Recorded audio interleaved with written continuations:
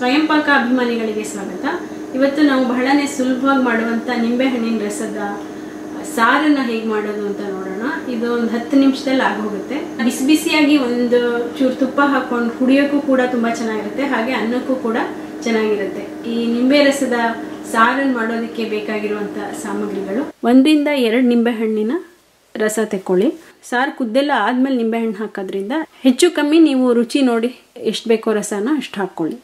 One tea spoon ಅಷ್ಟು ತುಪ್ಪ, ಚಿಟಿಕೆ ಇಂಗು, ಅರ್ಧ ಟೀ ಸ್ಪೂನ್ ಸಾಸಿವೆ, ಅರ್ಧ ಟೀ ಸ್ಪೂನ್ ಜೀರಿಗೆ. ನೀವು ಜೀರಿಗೆನ ಹಾಗೆ ಹಾಕ್ಕೋಬೋದು ಇಲ್ಲಾಂದರೆ ಸ್ವಲ್ಪ ಕುಟ್ಟಿ ಪುಡಿ ಮಾಡಿ ಕೂಡ ಹಾಕ್ಕೋಬೋದು ಒಂದು ಮೂರು ನಾಲ್ಕು ಕರಿಬೇವಿನ ಎಲೆ ಒನ್ ಟೀ ಸ್ಪೂನ್ ಉಪ್ಪು, ಒಂದು ಹಸಿರು ಮೆಣಸಿನ್ಕಾಯಿ.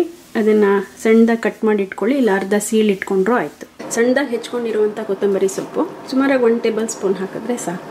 ರುಚಿಗೆ ತಕ್ಕಷ್ಟು ಬೆಲ್ಲ, ಒಂದು ಟೀ ಸ್ಪೂನ್ ಸಾರಿನ ಪುಡಿ ಒನ್ ಏಯ್ತ್ ಟೀ ಸ್ಪೂನ್ ಅಷ್ಟು ಅರಿಶಿನ. ಈಗ ಹೇಳಿರುವಷ್ಟು ಸಾಮಾನುಗಳು ಎರಡು ಕಪ್ ನೀರಿಗೆ. ನೀರನ್ನು ಒಂದು ಪಾತ್ರೆಗೆ ಹಾಕಿ ಮೀಡಿಯಮ್ ಉರಿನಲ್ಲಿ ಕುದಿಯೋಕ್ಕಿಡಿ. ನೀರು ಕುದಿಯೋದ್ರಲ್ಲಿ ಒಗ್ಗರಣೆ ಹಾಕ್ಕೊಳ್ಳೋಣ ಒಗ್ಗರಣೆಗೆ ಒಂದು ಟೀ ಸ್ಪೂನ್ ತುಪ್ಪ ಹಾಕಿ ಒಗ್ಗರಣೆ ಸೌಟಲ್ಲಿ ಬಿಸಿಗಿಡಿ.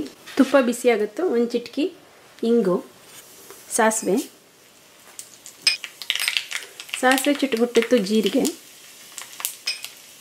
ಜೀರಿಗೆ ಸ್ವಲ್ಪ ಕೆಂಪಾದ್ಮೇಲೆ ಮೆಣಸಿನ್ಕಾಯಿ ಹಾಕಿ. ಮೆಣಸಿನ್ಕಾಯಿ ಸ್ವಲ್ಪ ಬಿಳಿ ಆಗುತ್ತೆ ಕರ್ಬೇವು ಹಾಕಿ ಒಗ್ಗರಣೆನೇ ತೆಕ್ಕೊಂಡ್ಬಿಟ್ಟು ಕುದಿಯೋಕ್ಕೆ ನೀರು ಇಟ್ಟಿದ್ದೀವಲ್ಲ, ಅದಕ್ಕೆ ಹಾಕಿ. ಈಗ ಇದಕ್ಕೆ ಸ್ವಲ್ಪ ಅರಿಶಿನ ಸಾರಿನ ಪುಡಿ, ಬೆಲ್ಲ, ಉಪ್ಪು. ಹಾಕಿ ಎಲ್ಲ ಒಂದ್ಸಲ ಮಿಕ್ಸ್ ಮಾಡಿ. ಇಷ್ಟು ಹಾಕಿದ್ಮೇಲೆ ಇದು ಚೆನ್ನಾಗಿ ಕುದೀಲಿ. ಏಳೆಂಟು ನಿಮಿಷದಿಂದ ಮೀಡಿಯಂ ಉರಿನಲ್ಲಿ ಇಟ್ಟಿದ್ದೀನಿ. ಈಗ ಚೆನ್ನಾಗಿ ಕುದೀತಾ ಇದೆ ಇದು. ಕೊತ್ತಂಬರಿ ಸೊಪ್ಪು ಹಾಕಿ, ಕೊತ್ತಂಬರಿ ಸೊಪ್ಪು ಹಾಕಿ ಮಿಕ್ಸ್ ಮಾಡಿ ಇದನ್ನು ಆಫ್ ಮಾಡಿಬಿಡಿ.